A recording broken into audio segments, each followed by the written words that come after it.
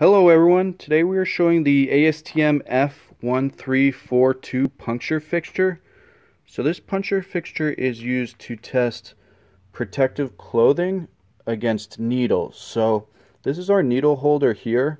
It can mount to any universal testing machine by means of a clevis pin style adapter.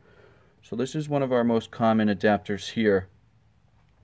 So the needle mounts into the holder here and then we also have the individual replacement needles here. So there's a few different ones depending on which method you're doing. These ones I'm showing today are the method A.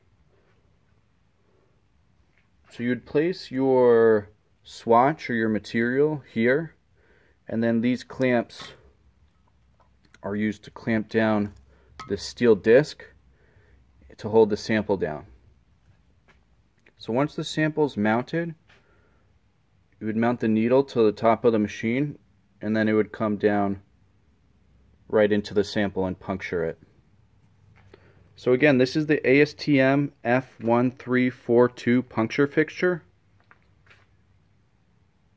If you have any questions, you can visit us at universalgripco.com. Thanks for watching.